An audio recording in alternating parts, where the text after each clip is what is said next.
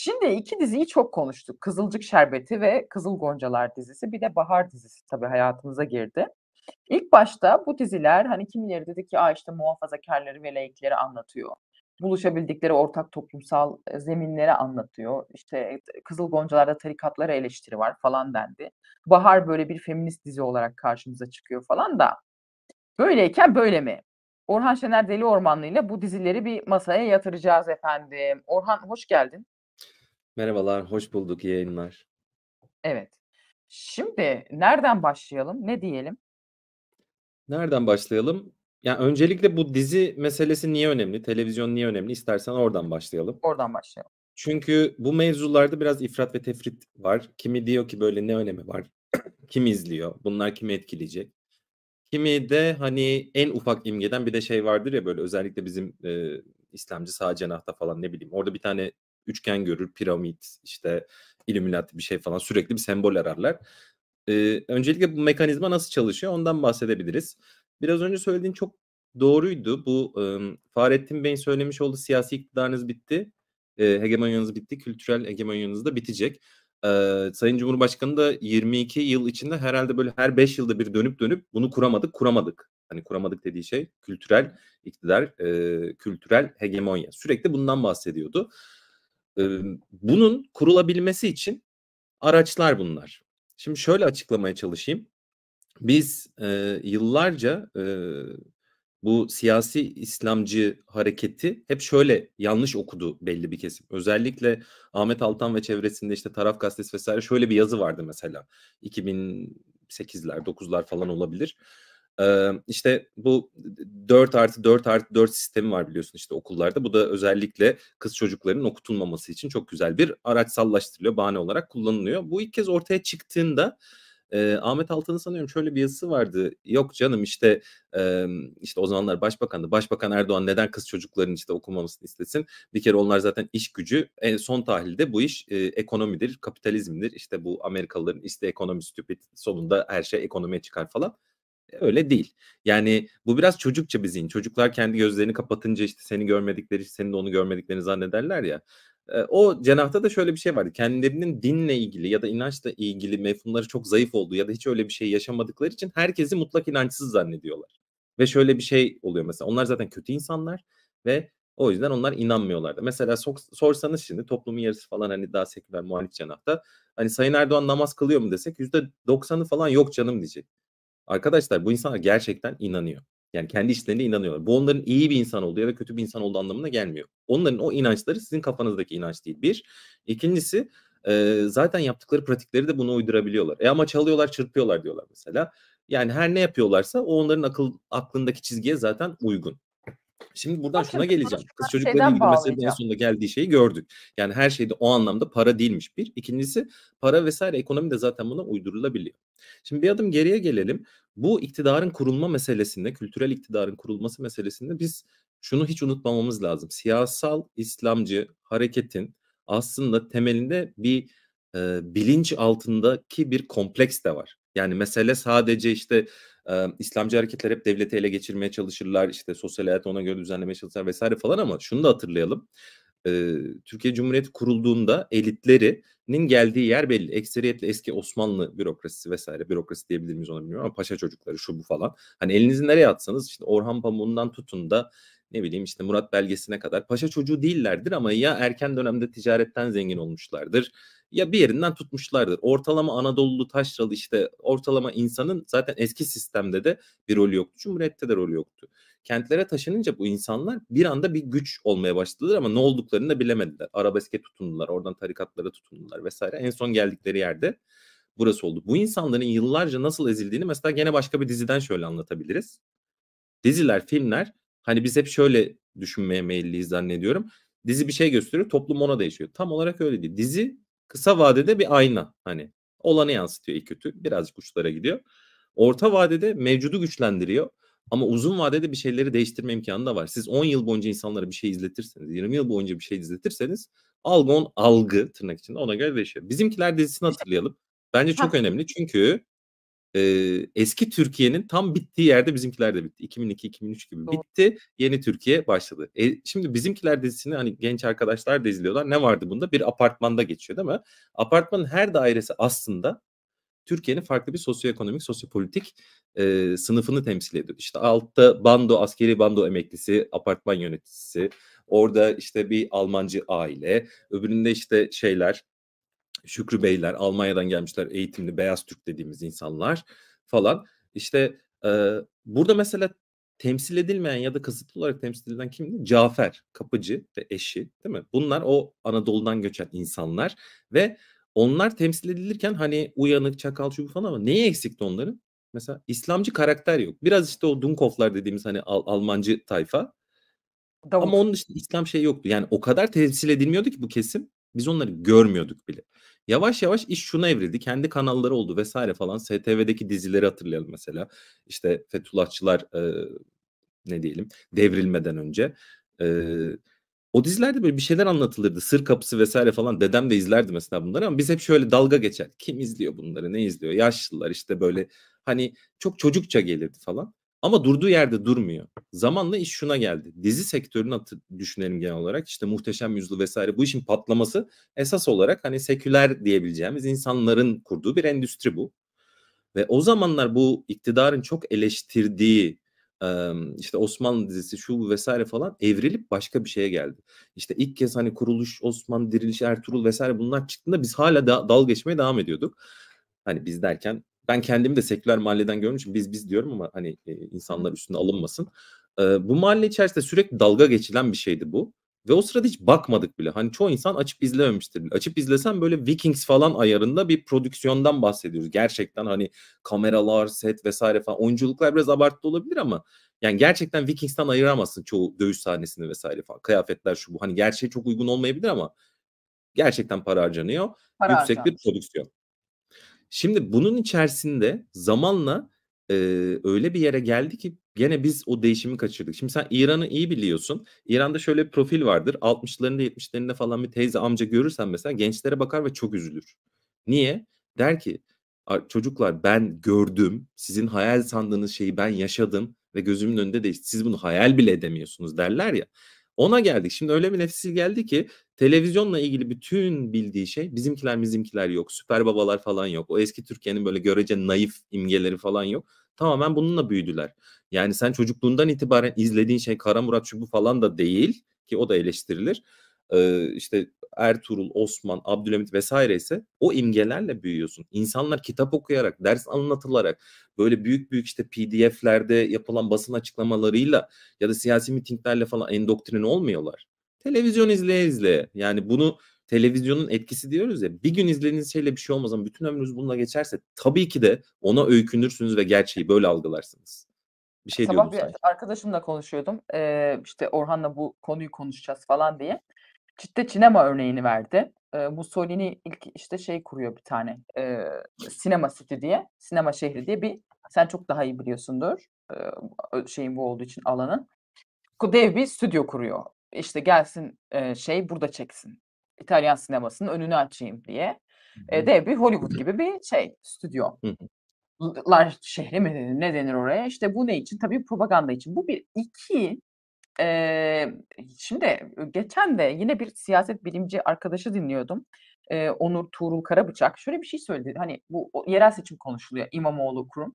Şimdi aslında mesela Murat Kurum'un kampanyası başka bir şey. Yani Murat Kurum'un kampanyası aslında yok.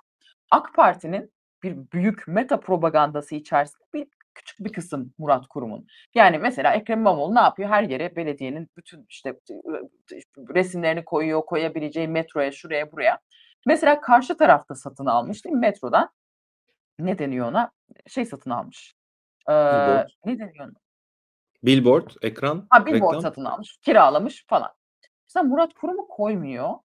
TRT'nin yeni dizisinin reklamını yapmayı tercih ediyor. Evet. Neden? Çünkü zaten. aslında o TRT'nin yeni dizisi de e, yani Murat Kurum'a oy verilmesi yol açan bir şey. Yani böyle bir daha büyük bir propaganda, kocaman bir aygıtının bir parçası Murat Kurum'un kampanyası değil. Çok doğru. Şimdi o gözle bakınca aslında bunun içine mesela bizim sekülerist falan diye aa işte ne güzel abi Eee, Kızılcık Şerbeti orada, işte, ne o kıvılcım laik atak geçiriyor, a, Hı. falan diyorsun ama aslında başka bir çerçeve var. Bunu özellikle Kızıl Goncalar ben 2-3 bölümden sonra gerçekten saçmalığa dayanamadım yani. Çünkü laikler, eee, sen şimdi daha da çok açarsın bunu.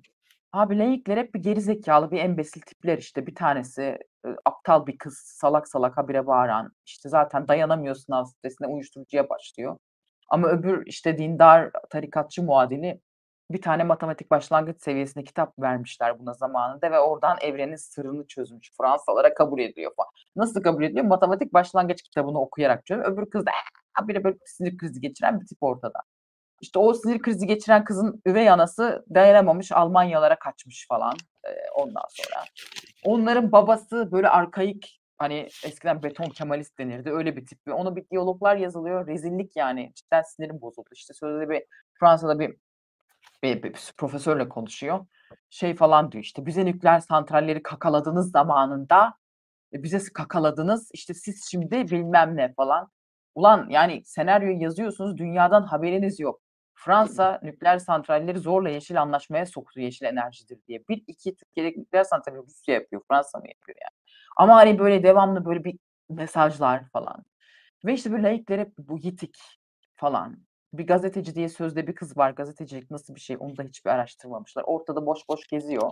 Sözde bir yazı dizisi hazırlıyor da onu da yalandan bir yere sa Yani laikler böyle yitik, bitik falan ama tarikatçılar, hani, 1-2 içlerinde kötü şey olsa da aslında mesela Cüneyt Delimeri de olsa o kadar vicdanlı ve o kadar akıllı ki bütün filozofları biliyor falan. Böyle bir tarikatçı profili. Hani, başta tarikatlar, eee, protesto etmişti Kızıl Goncaları. Anlamadıkları için etmişler herhâlde. Ful tarikat övgüsü. Yani izlesem ben Kızıl Goncaları, genç biri olsam, lan ben tarikata gideyim açıkçası.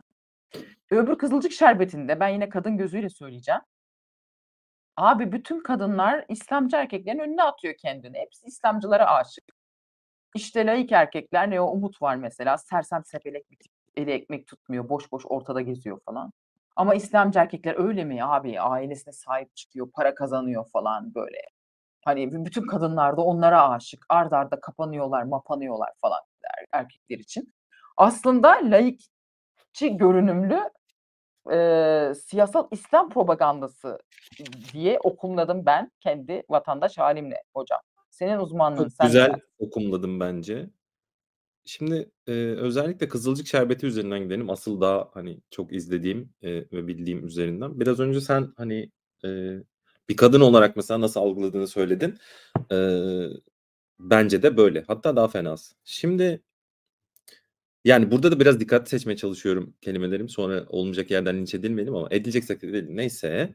Eee, hidayet romanı dediğimiz bir şey var 90'larda. İslamcıların böyle çok sevdiği. O bilinçaltlarının dışarı dışa vurumu. Yani nedir bunda? Bu biraz aslında ge ge geçmişe gidersek böyle 70-80'lerde İbrahim Tatlıses'in diskoya gidip böyle, işte, eee, kız kardeşini görüp falan, işte, "Ne yapıyorsunuz?" falan filan dediği şeyler vardır ya. Biraz onun, eee, bu sefer daha din dini bir, eee, şeye, sosa bulanmış hâli. Hidayet romanında genelde, işte, bir seküler kızımız olur.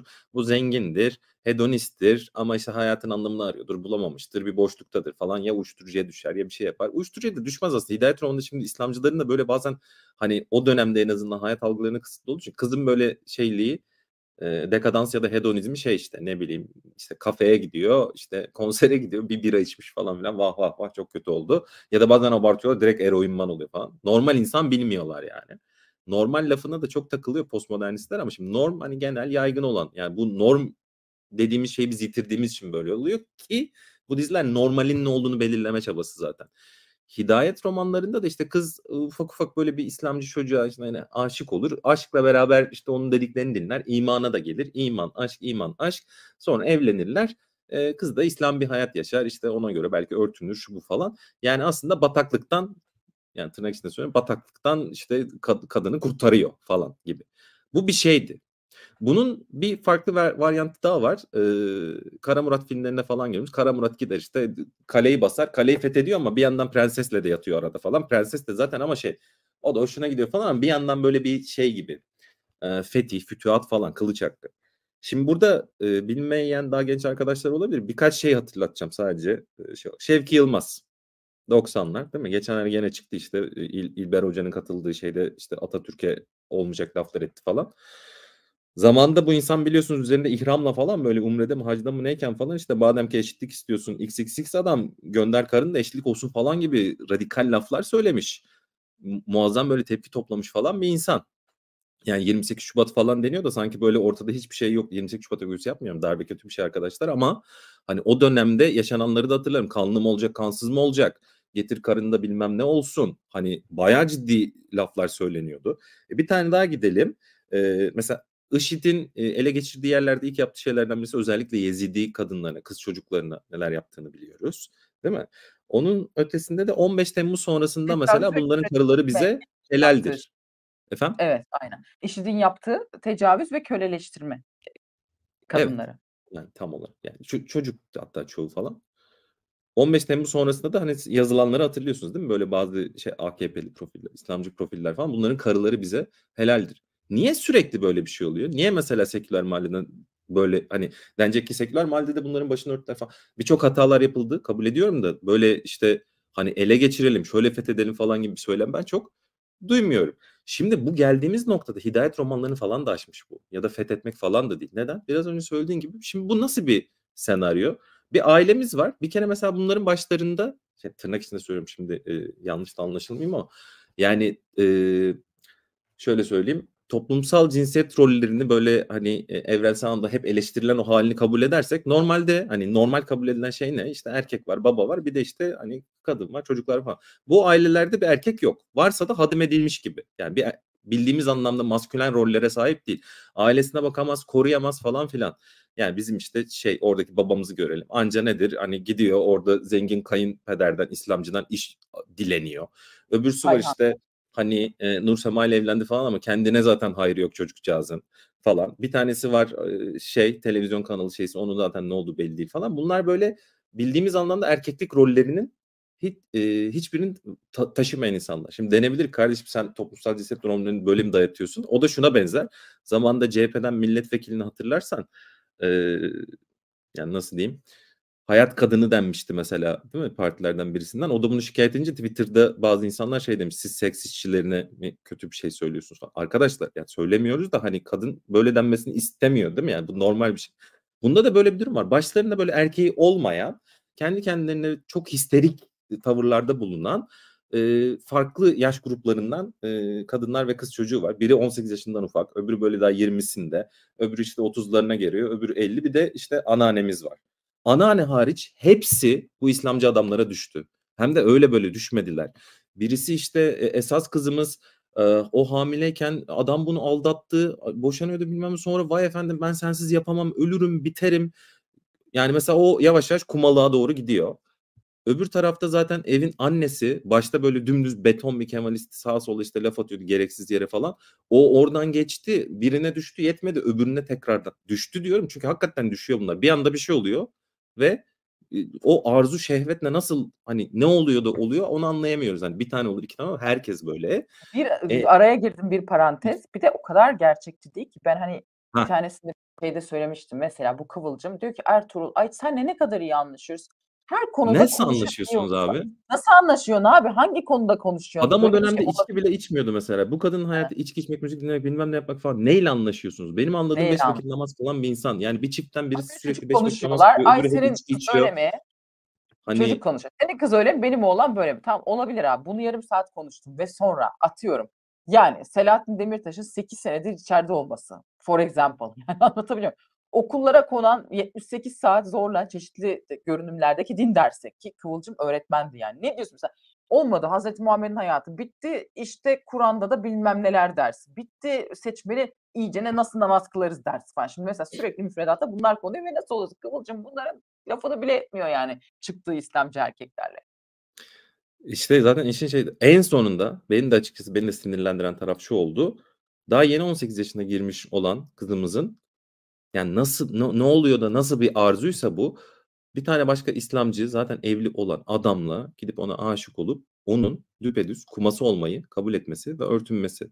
Biz bunu nasıl görüyoruz peki? Bize nasıl yansıtılıyor? Son bölümde mesela işte eski Kıvılcım geri döndü. Ya dönen bir şey falan yok. Eski Kıvılcım zaten seküler ebeveynlerin bir karikatürüydü. Bu karikatürün de karikatürü, trajikomik bir şey. Niye? Ya senin kızın kuma gitmiş 18 yaşında adamın birisine. Bir kere bu normal bir şey mi? Çıkar o başındakini diyor. Yani şu an başın başındakini konuşuruz ayrıca da net başı ya. Kız kuma gitti. Yani kadın buna değil de ona tepki gösteriyor. Niye?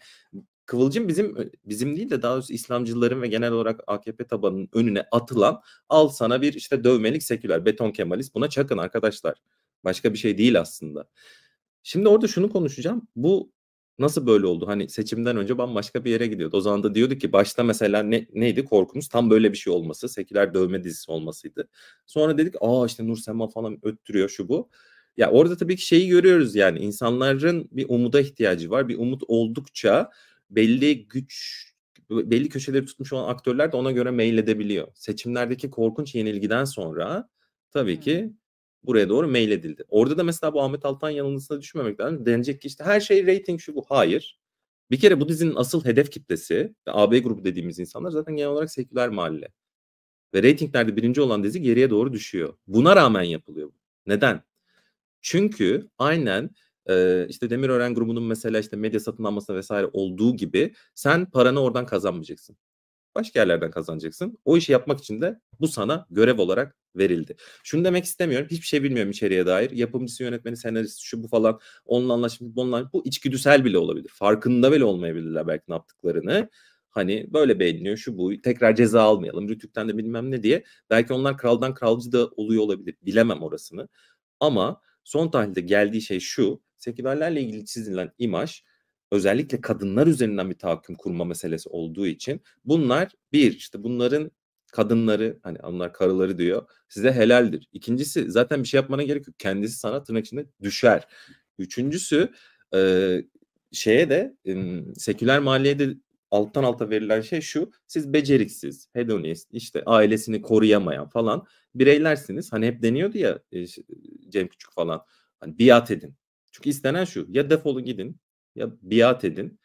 Biat etmiyorsanız da hazır olun olabileceklere. Yeni bir Türkiye kuruluyor. Siz eski Türkiye'nin artıklarısınız. Hatırlayalım o mahallelerinize girilecek denmişti. Diyen adam da sonra kimden danışman yaptı falan hatırlayalım ama hani sürekli mahalleye girme, fethetme, kılıç hakkı, bileğinin şeyiyle bu kadınlar sizin. Ya bunun bu kadar olduğu bir yerde böyle bir anlatının ben açıkçası doğal olduğunu düşünmüyorum.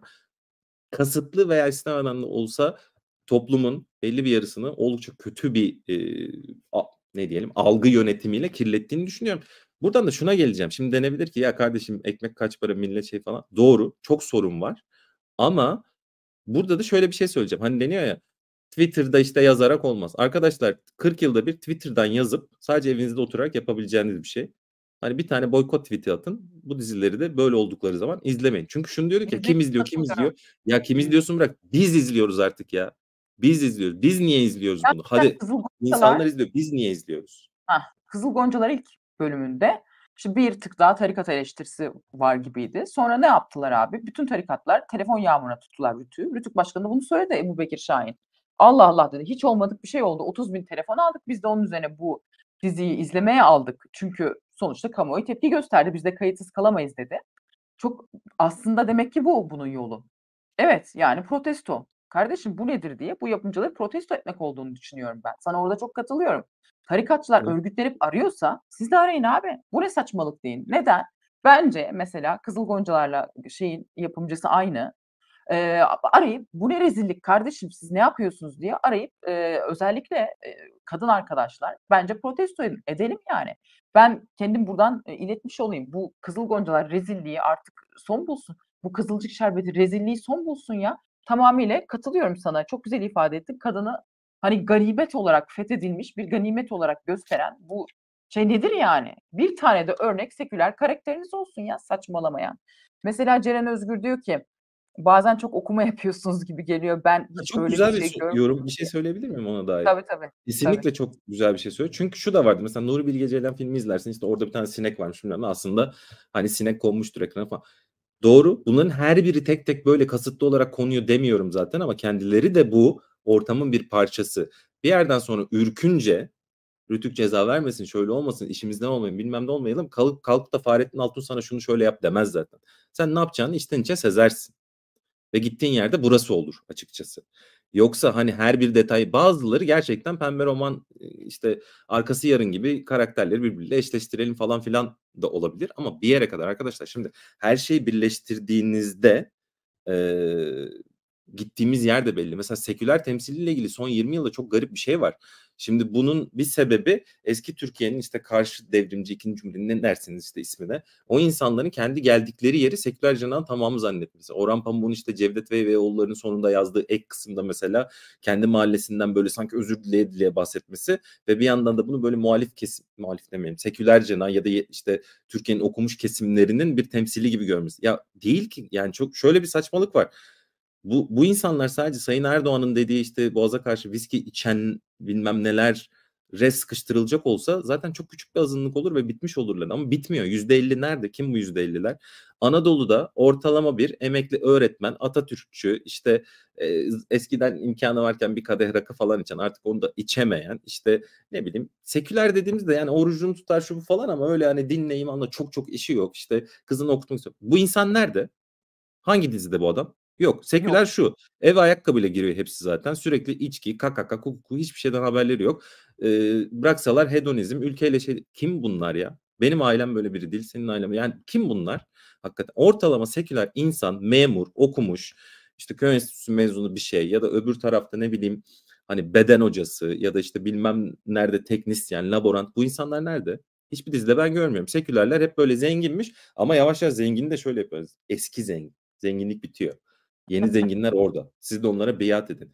Yani dünyadan habersiz, e, hiçbir şey bilmez. Bu topraklara yabancı bir şey söyleyeyim mi? Bu topraklara yabancı veya radikal olan unsur kesinlikle bu insanlar değil. Bu insanlar buranın zaten bir cumhuriyetin kurucu ögelerinden birisi. İkincisi hep zaten buradaydılar. Kültürü, adetini vesairesini bilirler. Ama öbür tarafta şunu da demiyorum. Mütedeyyin ortalama hani işte Müslüman falan hani sonunca zaten çoğu insan Müslüman. Bundan da bahsetmiyorum ama mesela bu işte tarikatlara bakalım. İşte bu Adıyaman'daki işte menzilciler vesaire. Bu size çok yerli ve milli gibi mi geliyor arkadaşlar? Yani hakikaten soruyorum. Adam birisi burasında gül, millet bir şeyler yapıyor falan. Bu yerli ve milli bir şey mi? Bu topraklara ait bir şey mi bu gerçekten? Yani bu bana çok daha böyle başka bir ülkenin, başka bir medeniyetin Türkiye'ye böyle getirilmiş, bir şekilde ittirilmiş bir kültürüymüş gibi geliyor. Onlar da var olsunlar kimseye zararları yoksa falan da bir zararları var e, bence. E, ama yani bu, bu, bu mu normal? Normal olan zaten normal algımız değiştirildi. Ortalama seküler bir insanı biz bir dizide, filmde göremiyoruz. Ancak şu olabiliyor. Birbirlerini anlasınlar, tanışsınlar. Sürekli anlaması gereken, tanışması gereken, özür dilemesi gereken, bir şey kavraması gereken insanlar hep bu seküler e, cenahın insanları. Ya da işte Berkun Oya'nın bir önceki dizisinin adı neydi şey e, çok beğenilmişti Netflix'te. Ha, Netflix'te oynayan 2012'de yazılmıştı. Bir başkadır. Bir başkadır. Ha, bir başkadır da mesela. Oradaki tipleri hatırlayalım. Kah kah kah. Gene tam olarak boğazla karşı viski içen tipler. Bir tane de genç oğlanımız var mesela. O da şey Hayatta tek bildiği şey akşam kızlar gelsin şey olsun falan filan. Tamam bunlar da olsun da arkadaşlar bir tane normal insan görmüyorum ya. Bu nasıl bir hayat ben anlamadım yani. Feyizler de hocadan geliyor. Hayat algısı da imamdan geliyor. Yani bu bir kuşatılmışlık hali. Bu böyle ince ince yazılıyor da olabilir. İçgüdüsel olarak da yapılıyor olabilir. Ama son tahlilde bizi getirdiği yer bir kere seküler muhalif cenahın umutsuzluğa düşmesi, kendisini de yavaş yavaş oraya konumlandırması. Karşı tarafa da bunlar avdır demeniz. Yani şöyle bir şey var. Bir hayvan mesela yani kurtlar insanlara bazen saldırır bazen saldırmazmış. İşte saldırdığı durumlar ne? Kaçarsan, kanın akıyorsa, zayıfsan, tökezliyorsan ama güçlü durumda gelmiyor. Biraz buna da geliyor açıkçası. Yavaş yavaş bir şeyin zemini oluşturuluyor. Böyle çok büyük bir okumaya da çalışmıyorum ama 20 yılda geldiğimiz yer belli. Bunu böyle bir e, progresyon yaptığımızda 20 sene sonra ben açıkçası öyle bir Türkiye'de var olmak bile istemem. Bir tek Bahar dizisi şimdi şey ama gerçi Hı. o da Güney Kore yapımı bir diziymiş. Onu almışlar Güney Kore bilmiyorum. O anlaşma da nasıl yapılıyor acaba? Kendin daha sonra şey yapabiliyor musun? Ne kadar oynama yapabiliyorsun? Senaryoda bilmiyorum. Değiştirebiliyorsun Güney... çünkü Bir Litre Gözyaşı Hı. dizisi vardı. Tamamen shift etmişti. Kendini de patlatmıştı. Kuzey Kore dizisinin birebiriydi. Değiştirebiliyorlar. Güney Kore. Ben Kuzey Kuzey Kore'den Kuzey... dizi al, alırsak ilginç olur. Kim Jong-un seni andı. Yok Güney Kore dizisi. Orada hani bir kadın var şimdi işte zamanında doktor olması engellenmiş aile yüzünden evlen evlen evlenip gitti yani kocasının ailesi yüzünden. Ve şimdi yeniden hastaneye dönüyor. Ayakları üzerinde durma serüveni kadının tekrar. O hakikaten böyle daha bir eee, feminist diyelim, eee, altyapısı olan bir dizi. Bakalım, yani, orada henüz bir imam, bir tarikat, eee, çok zeki bir dindar insan, herkese ne söyleyen, böyle bir karakter yok henüz. Bilmiyorum, sen ne diyorsun? İzledin mi Bahar? Her şey olabilir. Bu mesela bize şunu gösteriyor. Mesele sadece reyting olsaydı, hani deniyor insanlar Aynen. parasına bakar. A, Tamam, bak 1'inci o bu. bravo. Bahar reyting rekoru kırıyor bu arada. Kızılcık'ı falan geçti, onu söyleyeyim. E, tamam, Kızılcık Şerbeti niye o zaman kendi ayağına sıkıyor mesela, değil mi? Burada bir düşünmek lazım. Demek ki orada reytingin, reklam gelirinin falan ötesinde başka şeyler var. 1, bizim ayağımızı kaydırmasınlar, sektörde bitmeyelim, çok ceza aldık, aman ürkütmeyelim, şöyle böyle kaygısı. Belki başka şeyler de vardır. Dediğim gibi biraz önce söylenen bu aşırı okuma yapıyorsunuz falan. Bilmiyorum orada insanlar ne düşünüyorlar. Hani nasıl oluyor tam ama belli bir çevre oluştuktan sonra yani bu şey Hannah Arendt'in işte eee Banality of Evil yani kötüler böyle şeytani şey falan kurmazlar. Herkes kendisine düşen basit bir şeyi yapar. Biri der ki ben trene bindirdim, öbürü der ben indirdim, öbürü der ben düğmeye bastım. E kimse öldürmedi abi bu kadar insanı o zaman. Bir de Hitler'i öldürün yani. Bu da ona geliyor. Ben yazdım sadece, ben oynadım sadece, ben çektim sadece, ben ışığı tuttum bilmem ne. Sonucu da sonuçta ne oldu? İşte ganimet gibi fethedilmeyi bekleyen bir sürü seküler kadının olduğu bir dizi izliyoruz. Yani Aynen. e, bize düşen de seyirci olarak en azından yani bir şey de demiyorum. Gidip yani e, zaten ona göre de öyle bir gücümüz yok ama şöyle bir gücümüz var. İzleme kardeşim. İzlememe boket et. Yani küçücük tarikatlar şeyler yüzde birlik kitleler nasıl etkili oluyor? Biz koskocaman yüzde ellilik kesim yokmuşuz gibi ya. Yüzde ellilik bir azınlık olmaz arkadaşlar. Yani Doğru. bazen böyle Çok gücümüzün de farkına Ya Rütü'yü varmamız Rütü'yü arayın. Neden kadınlar böyle gösteriliyor diye. Rütü'yü arayın. Hiçbir şey yapamadınız. Kızılcık Şerbeti, Kızıl Goncalar YouTube'a yüklüyor ya altını yorum da doldurun ya. Bu ne rezillik diye. Bu kadar Onun yani yerine aşağıda YouTube'da şey konuşuyoruz. Ay. Apo öyle mi oldu, böyle mi oldu? Yani gerçek sanki böyle normal bir dizi izliyormuş gibi izliyor insanlar. E sen bu kadar zaten hani kendi çıkarlarını umursamaz ya da bunu görmezden gelirsen yani bu, şu anlaşılmıyor. Tamam toplumsal bir ortakta buluşalım vesaire falan ama sana hasmane davranan, seni düşman gören birileri var. Yani bunu da kabul etmiyorsan aşırı naifsin. Belki de bu kadar sert bir ortamda yani çok özür dilerim ama e, başına gelenleri de hak ediyorsun diyeceğim ama yani kimse böyle bir şey hak etmez. Yani biraz daha daha az naif olmamız gerek diye düşünüyorum. Sana %100 katılıyorum evet. Şimdi bir iki yorumlara da bakayım. Hazır sağ ol, sağ olsunlar izleyeceğimiz pazar pazar gelmişler. Eee Şöyle demişler, yani bazen diziler iyi başlıyor, sonra sapıtıyor. Bunu şeye bağlayanlar var ya, çok uzun 2 saat senaryo. Millet de ne yapsın? Dönüyor dolaşıyor, iş saçmalamaya geliyor. Herkes herkesle birlikte oluyor falan. iş oraya geliyor demişsiniz. Muharrem Palaz da şunu eklemiş. Senin söylediğinle örtüştüğü için göstermek istedim. %50, %5-6'lık kesimin yaşamlarını izliyoruz diye. Çok doğru. Belki o bile Değil yani. Tabii mesela Çok Kızılcık şey. Şerbeti'nde nedir o? Aşırı zengin bir belli AK Parti zengini bir İslamcı. Öbüründe de dıdısının dıdısı bir tarikat hayatını sanki normalmiş gibi kafamıza kakılıyor yani. Yani eskiden e, bu muhalif seküler cema, cen- cenah dediğimiz insanlar için sıkıntıyı şu olarak görüyordum ben.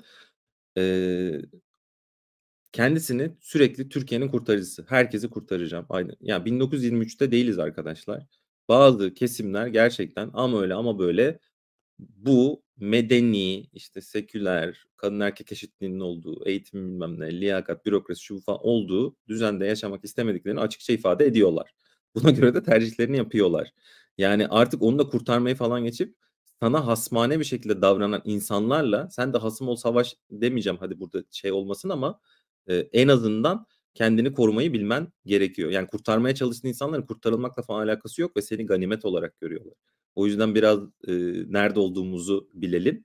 Bunu bildiğimizde ve kendimiz, çevremiz ve mahallemizin e, tırnak içinde çı- çıkarları diyeyim hani iyiliğini düşünmeye başladığımızda çok daha güçlü bir aktör olabileceğimizi düşünüyorum. Biz sürekli şey biz nötr veya böyle alttan alan ama karşı tarafta istediği her şeyi söylemeye muktedir.